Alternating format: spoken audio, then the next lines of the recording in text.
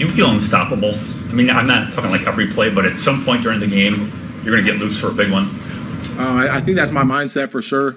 Uh, I mean, that's the mentality. Honestly, you know, everyone has to have when they're out there. Um, you know, when you're going, when you're going every single play, it's a it's a one on one between you and the and the man uh, across from you. Uh, so I mean, I, think- I think that's the mentality everyone you know has out there, um, and it's de- definitely the mentality I have for sure.